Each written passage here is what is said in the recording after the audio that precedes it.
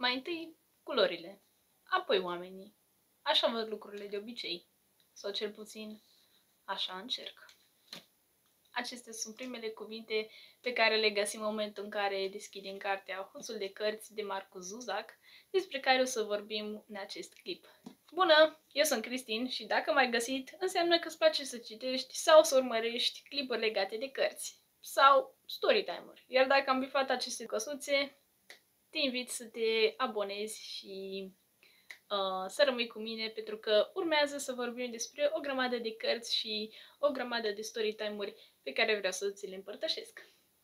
Nu vreau să fac o introducere foarte lungă pentru că avem multe de vorbit despre această carte și știu că am scăpat turma și că vorbesc și eu despre cartea asta că nu mai face nimeni și când uh, toată lumea a povestit deja despre ea și a citit-o, dar ideea e că nici măcar n-am vrut să citesc cartea asta în primul rând, uh, tocmai din cauza hype-ului care s-a făcut în jurul ei și din cauza atenției pe care o primit-o în momentul în care a fost foarte populară și de obicei nu-mi plac cărțile astea uh, care sunt foarte hăipuite. Într-un procentaj de 93,7% nu-mi plac, da? Eu am calculat procentajul ăsta.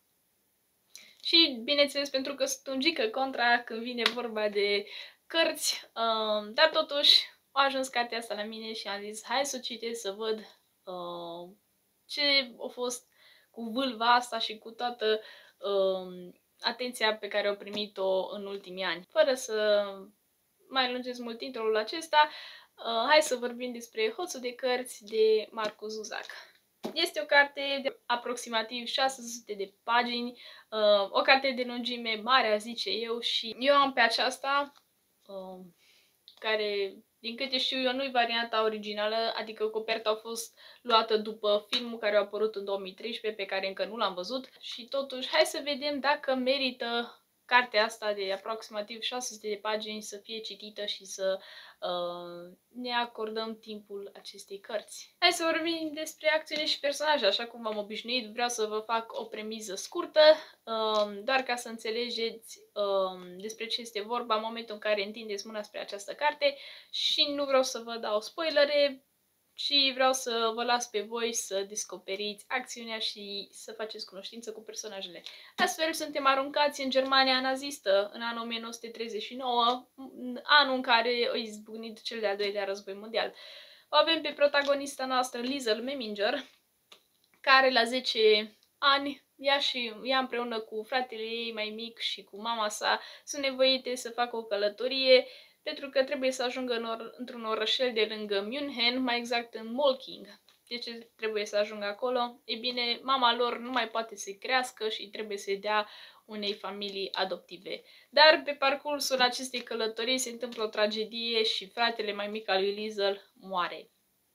Uh, acesta va fi înmormântat uh, destul de repede într-un orășel uh, din cadrul călătoriei lor și ele două singure vor trebui să-și rea călătoria și să ajungă în orașul Molking. Ajunse acolo, pe strada Himmel, ne așteaptă familia adoptivă, adică familia Huberman.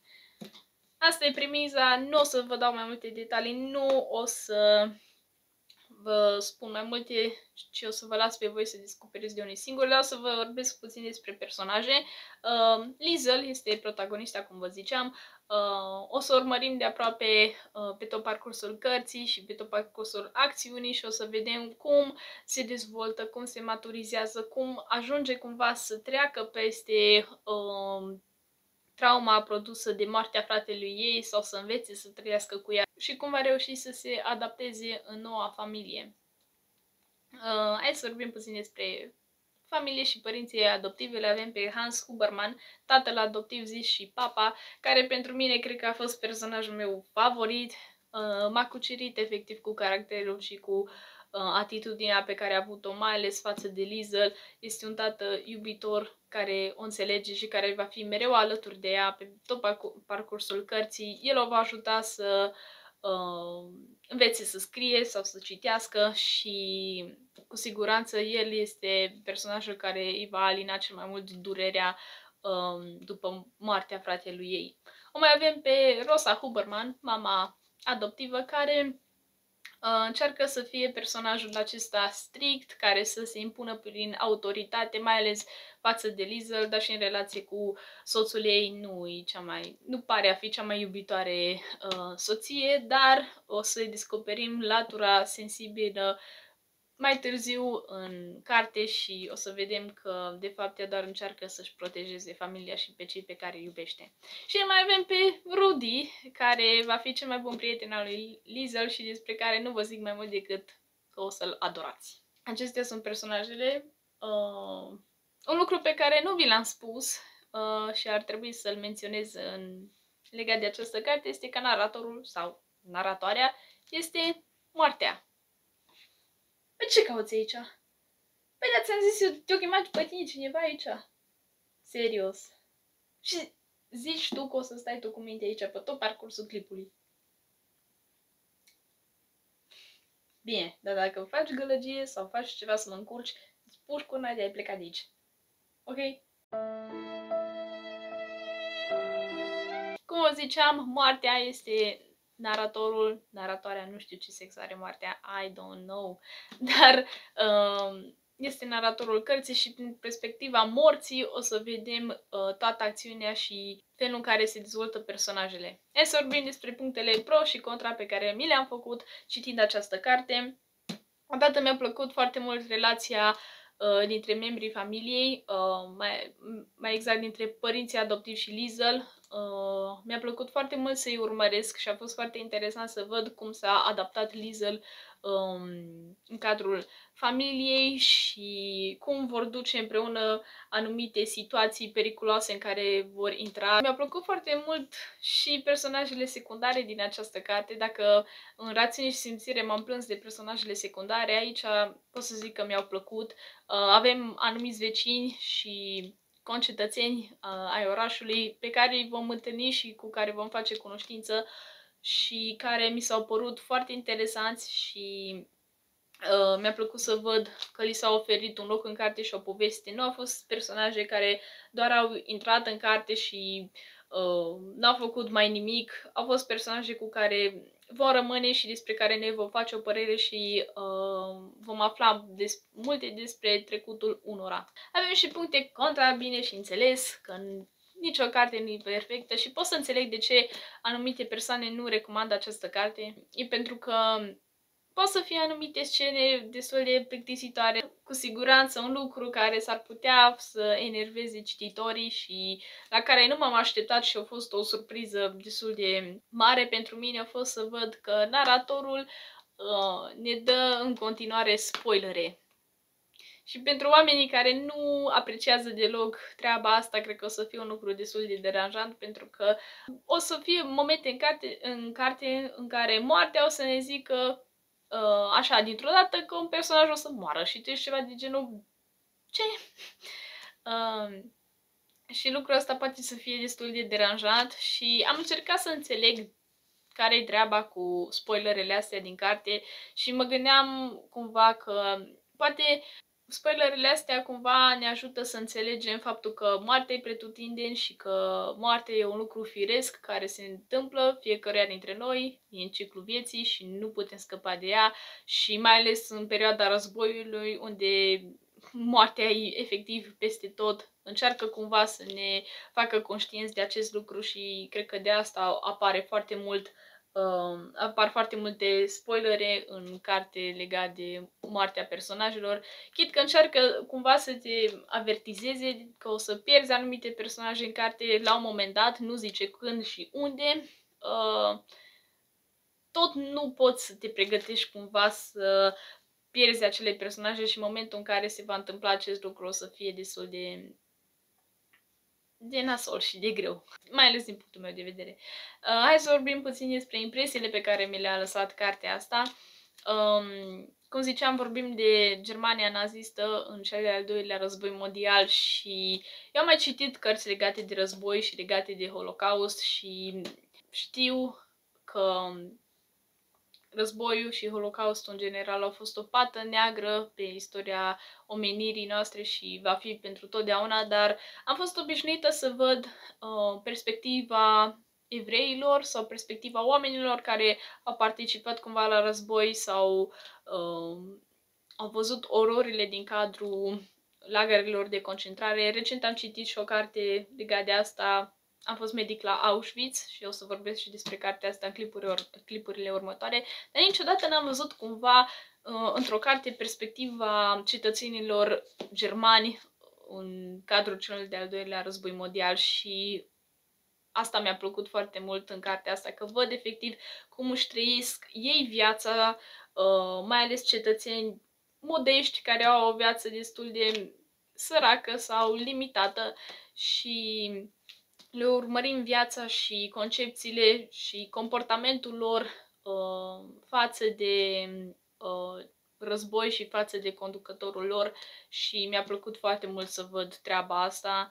Uh, cred că e un lucru destul de nou, pentru că eu nu am mai citit o carte de genul acesta și mi-a plăcut foarte mult să văd și perspectiva lor.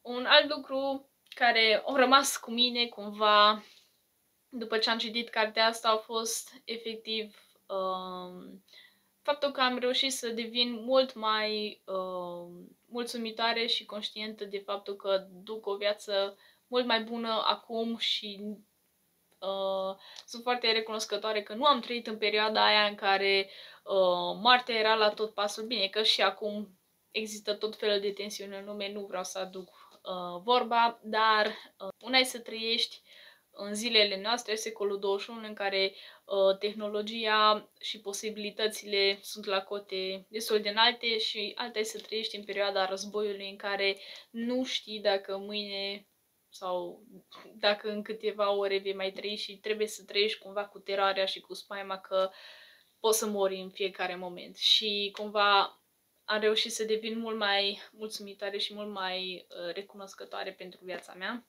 Um, un alt lucru care a rămas cu mine și o să rămână cu mine uh, legat de cartea asta e finalul. Nu o să dau spoilerele deloc legat de final, dar uh, pe mine atât de mult m-a afectat finalul și chit că am fost uh, avertizată cumva din spoilere de anumite acțiuni, nu am putut să mă pregătesc efectiv uh, de final și a fost destul de uh, emoționant pentru mine și în timp ce citeam finalul cărții am avut multe momente în care au trebuit să las cartea din mână pentru că au fost mult prea mult și mult prea uh, greu pentru mine să citesc în continuu cartea și m-am apucat de plâns de Doamne feri, dar nici măcar n-am vrut treaba asta, pentru că eu când am început să citesc cartea asta am pornit cu gândul că nu vreau să-mi placă. Eu chiar am vrut să nu-mi placă, dar finalul m-a prins și finalul m-a sensibilizat foarte, foarte mult și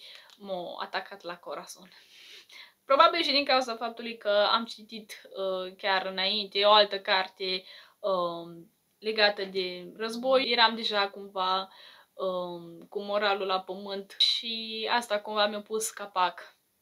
Dar și probabil prin faptul că sunt o persoană mult mai emotivă și sensibilă decât alții și mă atașez foarte mult de personaje și cu siguranță acest lucru uh, impactează cumva uh, felul în care văd cartea sau felul în care trăiesc anumite uh, pasaje din carte.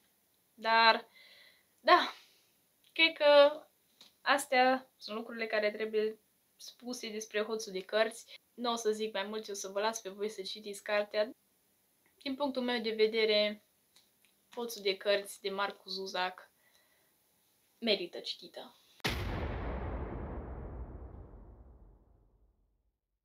Dacă ați citit cartea, spuneți-mi în comentarii sau ce părere ați avut, ce părere v-ați făcut legate de asta, dacă vreți să citiți acum după ce ați văzut acest review.